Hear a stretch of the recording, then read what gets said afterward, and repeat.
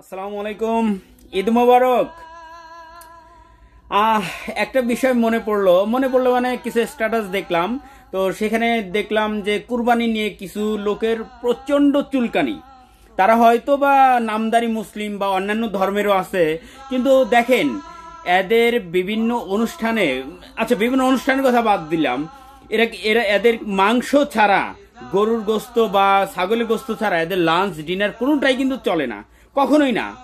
আর বুনা খিচুড়ির সাথে এদের গরুর গোস্ত বা ছাগলের গোস্ত না হলে তো মানে এদের ওই আসরটা জমেই না। অথচ কুরবানি আসলেই এরা কেমন করে যেন পশুপ্রেমী হয়ে যায়।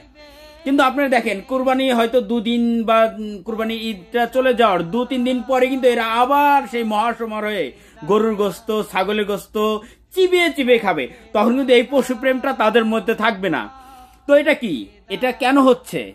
ওরা জাস্ট আমাদের এই কুরবানির বিরোধিতা করতেছে। অন্য কোনো কিছু না। বা দেখেন, ওদের যে বিয়ের অনুষ্ঠান হয়, বা জন্মদিন পালন করে, বা বিভিন্ন পার্টি হয়, ওখানে কি?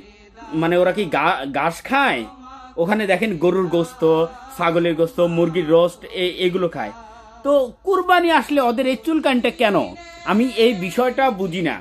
এরা সারা বছর বা সারা জীবনই স্লোগান দেয়, ধর্ম, যার যা উৎসব সবার। অথচ কুরবানি এলেই এদের সুরটা কেমন যেন চেঞ্জ হয়ে যায়। যে কুরবানি যার যার, আর চুলকানি হচ্ছে আমার। কেন ভাই? আপনি সারা বছর যে এই মজা করে গরুর গোস্ত খাচ্ছেন, ছাগলের গোস্ত খাচ্ছেন, সেটা কিছু না? আর কুরবানি আসলে মুসলিমদের এইভাবে বিরোধিতা করেন? কি কারণ? কি রহস্য? তো এই দেশটা আমাদের সবার। এখানে আসুন, সবে সৌহার্দ্যপূর্ণভাবে যার যার উৎসব পালন করি।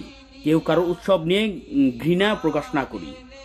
এরকম যদি হতো যে আপনি গরু গোস্ত খান না, ছাগলের গোস্ত খান না, ওকে দেন আপনি টোটালি ভেজিটেরিয়ান তো আপনি এটার বিরোধিতা করতে পারেন। মানে এটা আমি আপনার ক্ষেত্রে বলছি বিরোধিতা, যে আপনি এটা পছন্দ করেন না। সেটা আপনার ব্যক্তিগত ব্যাপার।